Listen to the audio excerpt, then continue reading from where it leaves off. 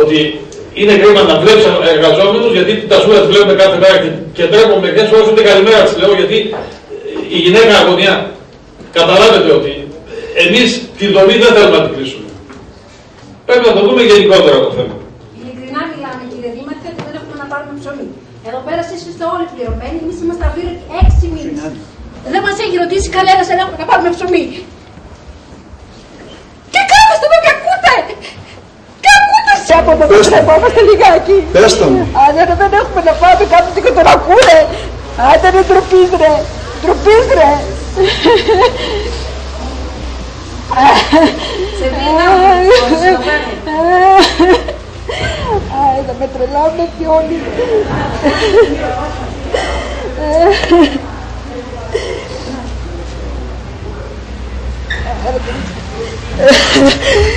Να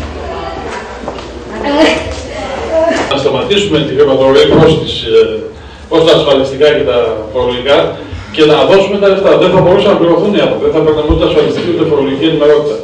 Ε, το, το υποκριτικό να πούμε ότι παιδιά κάνει υπομονή, θα έρθουν καλύτερε μέρε, είναι πιστεύω ότι πραγματικά όλοι δεν σα κοιτάμε στα μάτια, σα γυρίζουμε την πλάτη.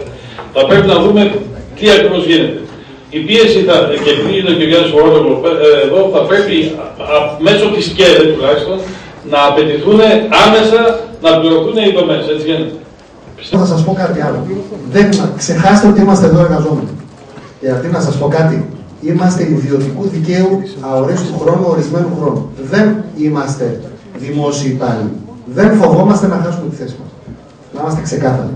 Εδώ δεν ήρθαμε να μιλήσουμε για τη θέση μας. Εδώ ήρθαμε να μιλήσουμε για τη δημοτική επιχείρηση. Γιατί όλοι είμαστε πολίτες αυτής της πόλης και της περιοχής. Η δημοτική επιχείρηση παράγει ωφέλη για την πόλη και την περιοχή. Συ- αύριο θα είναι κάποιοι από εμάς ίσως εδώ στα έδρανα και εσεί θα είστε πολίτες και θα εισπράτετε εσείς τις υπηρεσίες. Θέλει ενδιαφέρον και το ενδιαφέρον, κύριε Δήμαρχε, το είπαμε και την προηγούμενη φορά και συμφωνείτε κιόλας. Πρέπει να δοθεί και σε άλλα κομμάτια. Σε εκχώρηση δικαιώματος εσόδων. Αυτό ακριβώς. Λοιπόν, σε αυτό Πρέπει να το δούμε γενικότερα το θέμα. Εδώ πέρα εσείς είστε όλοι πληρωμένοι, εμείς είμαστε και έξι μήνες. Δεν μας έχει ρωτήσει κανένας αν έχουμε να πάρουμε ψωμί. Τι κάνετε!